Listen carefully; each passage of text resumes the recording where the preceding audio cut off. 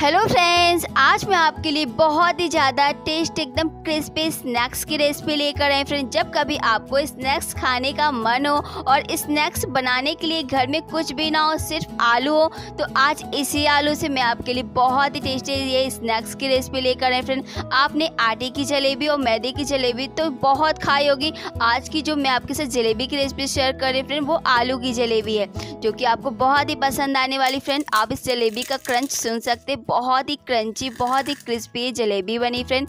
तो इस क्रंच से आप ये समझ सकते हैं कि जलेबी कितनी बढ़िया बनी है। तो अगर आपको आज की रेसिपी पसंद आए तो वीडियो को लाइक करना बिल्कुल ना भूलिएगा। तो चलिए फ्रेंड बनाना शुरू करते हैं। इस रेसिपी को बनाने के लिए मैंने यहाँ पे उबले हुए गर्म आलू ले लिए तो आप आलू को ठंडा बिल्कुल ना कीजिएगा, क्योंकि इस रेसिपी के लिए आपको एकदम गर्मा गर्म आलू का ही इस्तेमाल करना है। तो आलू अच्छे से गर्म है तो इनको मैं तुरंत अच्छे से मैश कर लूँगी।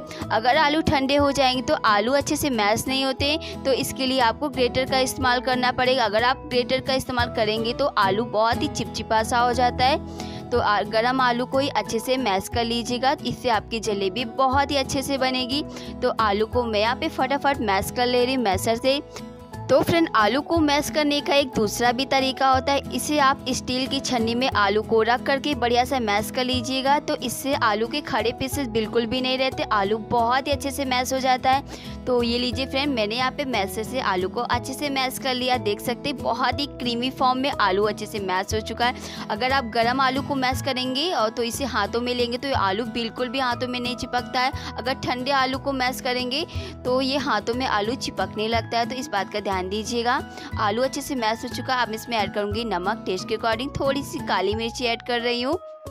और मैं इसमें ऐड करूँगी यहाँ पे आधा कप के लगभग कॉर्नफ्लोर तो कॉर्नफ्लोर से जो जलेबी होगी वो बहुत ही क्रंची बहुत ही क्रिस्पी बनेगी फ्रेंड आप इस जलेबी को फ्रेंड व्रत में भी बना के खा सकते हैं। अगर आप कॉर्नफ्लोर व्रत में खाते हैं तो उसे डाल दीजिएगा तो आपकी जलेबी बहुत ही क्रंची बनेगी। अगर नहीं खाते हैं तो आप इसे स्किप भी कर सकते हैं। तो फटाफट मैं इसे अच्छे से मिक्स कर लूँगी कॉर्नफ्लोर के साथ।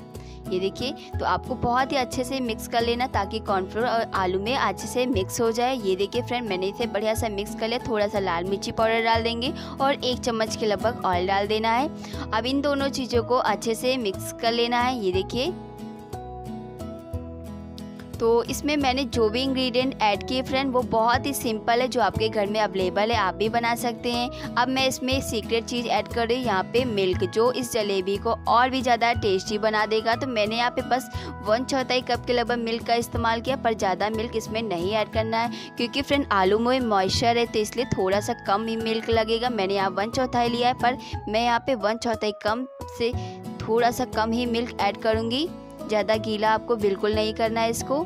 ये देखिए, कुछ इस तरीके से आप मिक्स कर लीजिएगा। ये देखिए, कुछ ऐसा इसका टेक्सचर होना चाहिए, देख सकते हैं। तो बस यहाँ पे हमारा जलेबी का जो मिक्स है, वो बिल्कुल तैयार है। चलिए फ्रेंड अब हम जलेबी बनाना शुरू करते हैं। तो जलेबी बनाने के लिए मैंने यहाँ पे इस तरीके की एक पॉलीथीन का इस्तेमाल किया है। अगर आपके पास ऐसी पॉलीथीन ना हो, दूध का पैकेट का भी इस्तेमाल कर सकते हैं या फिर आप किसी बोतल में भी जलेबी को बना सकते हैं तो मैंने आप एक सिंपल सी पॉलीथीन लिया जिससे आप भी इस जलेबी को बना सकते हैं। तो अब इस पॉलीथीन में इस मिक्स को फ्रेंड मैं डाल दूँगी, जो हमने जलेबी के लिए तैयार किया था। तो जितना फ्रेंड पैकेट में आ जाए, उतना ही डालिएगा। तो मैं यहाँ पे चार से पाँच चम्मच के लगभग ही डालूँगी। तो ये लीजिए फ्रेंड मैंने यहाँ पे इसको डाल दिया है। अब इसे क्या करें? एक साइड से इसे पूरा इस तरीके से कर लेंगे और इसे पैकेट को थोड़ा सा रोल कर लेंगे। ये देखिए कुछ इस तरीके से। तो अब मैं यहाँ पे पैकेट को थोड़ा सा कट कर लेती हूँ। कुछ ऐसे, ये देखिए। तो जैसे भी आप जलेबी बनाना चाहते हैं, मोटी पतली, उस हिसाब से आप इसे बना सकते हैं। तो मैंने इसे कट करके मैं आपको इसे दिखा रही हूँ कुछ इस तरीके से जलेबी बनेगी। फ्रेंड, देख सकते हैं कितनी बढ़िया सी जलेबी ये देखिए बन रही है। तो अब हम चलते हैं इस जलेबी को अच्छे से फ्राई करेंगे। तो जलेबी बनाने के लिए मैंने यहाँ पे पैन ले लिया है। तो आप थोड़ी से चौड़े तली पैन का इस्तेमाल कीजिएगा, इससे जलेबी बहुत ही अच्छी बनेगी उसमें। तो हमने यहाँ पे ऑयल को पहले से हीट कर लिया था। इस तरीके से यहाँ पे हम जलेबी बनाते जाएँगे। ये देखिए, जब जलेबी बना रहे हैं फ्रेंड तो गैस का जो फ्लेम है वो आप इसे लो रखिएगा। लो फ्लेम पे सभी जलेबी को बना के इसमें डाल दीजिए। ये देखिए, कितनी ज़्यादा सिंपल है, बहुत ही अच्छा लग रहा है फ्रेंड जलेबी। बहुत ही अच्छे से ये जलेबी बन रही है। तो अगर आपने आटे की, मैदे की जलेबी ट्राई की है तो अगर आपने आलू की जलेबी अब तक ट्राई नहीं की तो इसे ज़रूर ट्राई करना फ्रेंड आपको बहुत ही पसंद आने वाली फ्रेंड ये बहुत ही टेस्टी बनती। है आज मैं जो आपके साथ जलेबी की रेसिपी शेयर करूँ वो नमकीन जलेबी है फ्रेंड आप इसकी मीठी जलेबी बना सकते पर उसमें नमक ऐड ना कीजिएगा और इसे चाशनी में डिप करके मीठी जलेबी भी बना सकते हैं। देख सकते फ्रेंड ये हल्का सा पक चुका है तो अब मैं इसे दूसरी साइड से पलट रही हूँ। तो इस जलेबी को फ्रेंड गैस का जो फ्लेम है लो टू मीडियम फ्लेम पे करके आपको इसे अच्छे से फ्राई करना है। ये देखिए, इस तरीके से देखिए हमने जलेबी को बढ़िया से फ्राई कर लिया। कितना प्यारा सा कलर आ गया। इसे ज़्यादा डार्क आपको बिल्कुल भी नहीं करना है। बस यहाँ पे हमारी जलेबी फ्राई हो गई। अब मैं इसे निकाल लूँगी।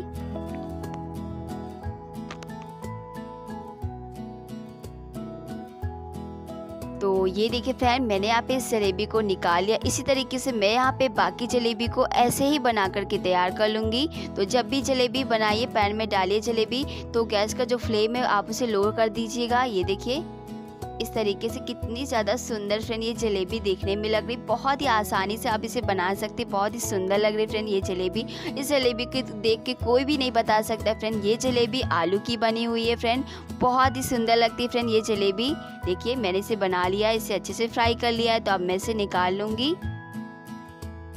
अब हम जलेबी को फ्रेंड प्लेट में निकाल लेते हैं। आप देख सकते हैं इस जलेबी का जो लुक है, कितना ज़्यादा सुंदर लग रहा है। फ्रेंड जलेबी देख के कोई भी नहीं बता सकता कि ये जलेबी आलू की बनी हुई फ्रेंड बहुत ही टेस्टी बहुत ही क्रंची क्रिस्पी जलेबी बनती है। फ्रेंड बहुत ही टेस्टी आप इस जलेबी को बना करके एक हफ़्ता तक स्टोर करके भी रख सकते हैं। ये जलेबी बिल्कुल भी सॉफ्ट नहीं होगी मैं आपसे तोड़ के दिखा रही हूँ। आप इसका क्रंच सुन सकते हैं। देखिए, कितनी क्रंची जलेबी बनी हुई है।